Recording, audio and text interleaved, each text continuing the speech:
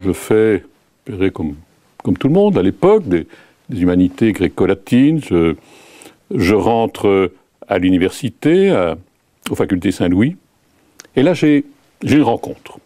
Une rencontre avec un, homme que je trouve extraordinaire, euh, Aloïs Simon, professeur d'histoire, grand spécialiste de l'histoire de la Belgique entre 1830 et 1848, ce qu'on appelle la période de l'unionisme.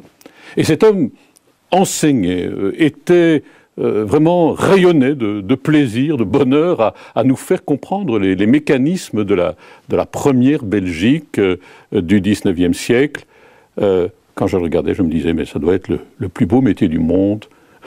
Comme je dis parfois, mais il ne faut pas trop le répéter, je me sens parfois plus professeur que juriste. Disons que je suis professeur dans les disciplines euh, juridiques. Et donc, là, vraiment, c'est ma vocation d'enseignant, peut-être plus que ma vocation de, juriste, qui, qui naît. Après deux ans de Saint-Louis, je, vais à, Louvain, j'ai les cours de Jean Dabin, grand académicien, Paul de Vicher, grand académicien, lui aussi, euh, Circambier, vraiment tous ces gens m'initient au cours de, aux disciplines du droit public. Euh, J'y un petit peu comme un, poisson dans l'eau.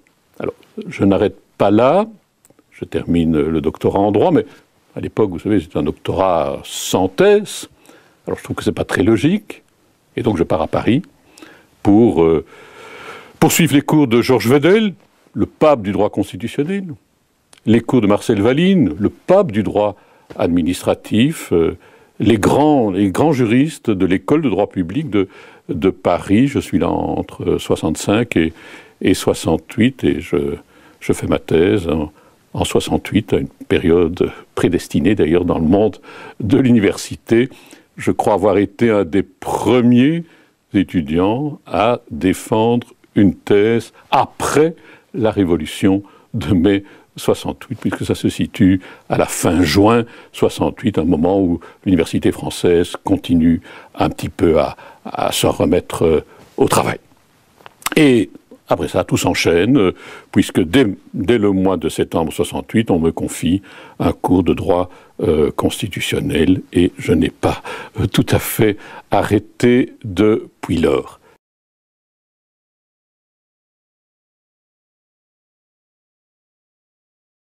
j'ai surtout rencontré un certain nombre de, collègues à travers le monde. Moi, je suis un de ceux qui considèrent que voilà, le droit constitutionnel belge ne se fait pas uniquement en Belgique, mais qu'il se fait finalement sur tous les continents.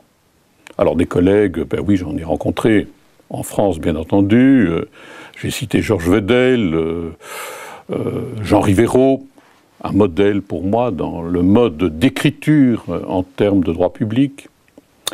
Louis Favoreux, qui était un collègue, un ami, j'allais dire un camarade, et avec qui nous nous retrouvions dans tous les coins du monde en missionnaire, comme nous disions, de la cause constitutionnelle. Nous allions, disons, euh, apprendre ailleurs ce qu'était le droit constitutionnel, la justice constitutionnelle, le contentieux constitutionnel, et nous essayons de, faire des émules, ce qui, a permis tout de même de, créer des, équipes de recherche de 50, 100, 200 personnes qui, à travers le monde, depuis euh, Tokyo jusqu'à Ottawa, en, passant par Sao Paulo, en passant par Ouagadougou, etc., réfléchissaient aux mêmes thèmes et aux mêmes préoccupations.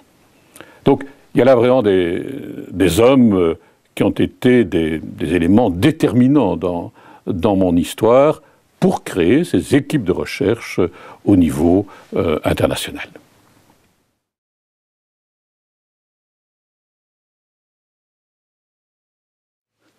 En 1971, avec Paul de Vicher, mon maître à Louvain, nous organisons un grand colloque international sur la justice constitutionnelle en Europe et dans le monde. Il faut savoir qu'à ce moment-là, en Belgique, il n'y a pas de contrôle de constitutionnalité.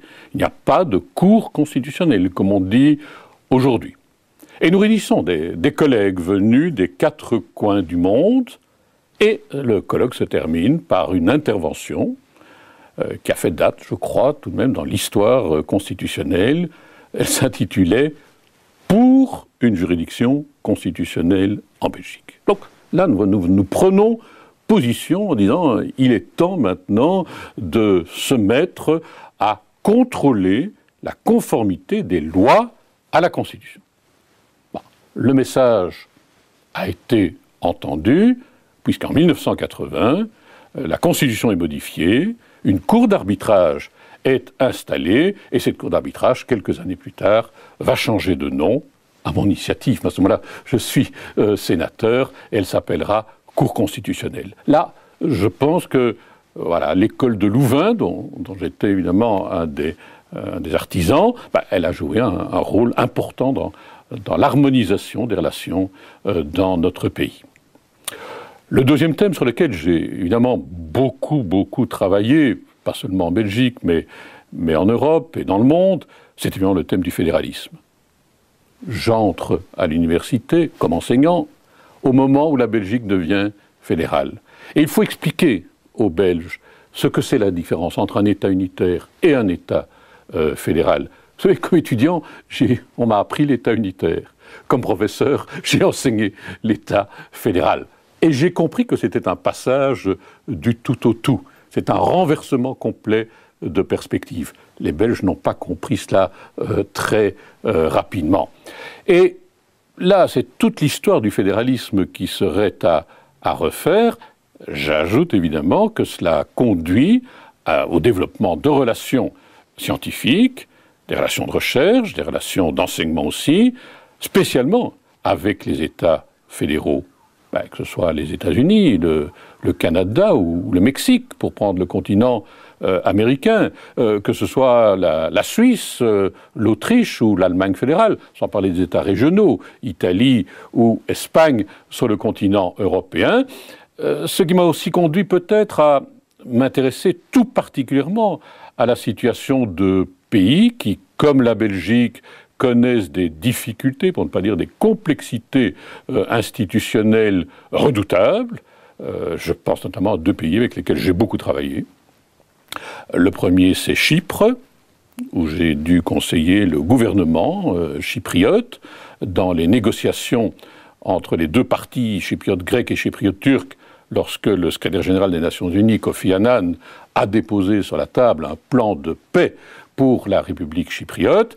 Le deuxième pays, c'est évidemment le Liban, euh, auquel il y a, avec lequel nous avons des, liens, des liens de langue, des liens culturels, des liens cultuels parfois, et les, liens évidemment euh, avec ce pays euh, tourmenté, en proie à la guerre. Je trouvais qu'il était peut-être utile aussi d'aller plusieurs fois, bien sûr, au Liban pour pour apporter peut-être un, bout d'expérience ou un bout de réflexion sur les problèmes libanais. Pas pour apporter les solutions belges, ça c'est trop facile. On n'est pas dans un supermarché où l'on va comme ça euh, prendre des produits dans les rayons. Non, mais essayer de comprendre la complexité euh, du pays, essayer de trouver des euh, solutions qui soient pertinente et surtout adaptée à la réalité politique, économique ou, culturelle du pays en question. Alors, troisième thème peut-être, sur lequel j'ai beaucoup travaillé en Belgique, c'est le thème des crises. Ça a été ma première leçon à l'académie, alors que je n'étais même pas encore académicien. L'académie avait eu la gentillesse de, m'inviter pour parler des, crises politiques vues sous l'angle euh, La Belgique euh, a connu des crises politiques un peu à répétition, notamment dans cette période qui était la période de 1977 à, 1982, où les gouvernements tombaient comme des mouches, où les élections se succédaient les unes aux autres. Eh il m'a semblé à ce moment-là que le juriste, le constitutionnaliste, pouvait peut-être apporter une petite pierre à cette vie politique tumultueuse en établissant des, règles, des procédures, en mettant en quelque sorte des, guides, euh, en canalisant cette vie politique tumultueuse euh, dans un, ensemble qui était un peu harmonieux. Un jour, La télévision belge vient me trouver et me dit Mais on parle, d'affaires courantes, le gouvernement démissionnaire, il doit expédier des affaires courantes. Qu'est-ce que ça veut dire? Et je vous avoue que dans la littérature juridique, euh, la notion d'affaires courantes était vraiment quelque chose d'extrêmement euh, limité, réduit et fort incertain.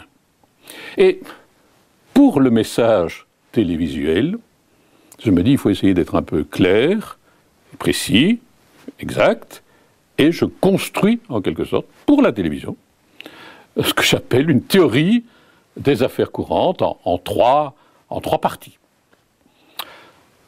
Cette idée-là va, va circuler, elle se retrouve aujourd'hui dans tous les manuels de droit public. En quelque sorte, cette réflexion sur la crise, sur cette vie politique événementielle, sur ce qu'on appelle parfois l'écume de la vie euh, politique, dans ses aspects les, plus circonstanciels, ben, ça nous a permis peut-être d'avancer un petit peu dans euh, ce que j'appelle pour ma part les procédures de crise. J'ai publié euh, plusieurs traités de droit constitutionnel. Je crois que l'originalité majeure, ce sera, celle qui restera, sera sur les procédures de crise.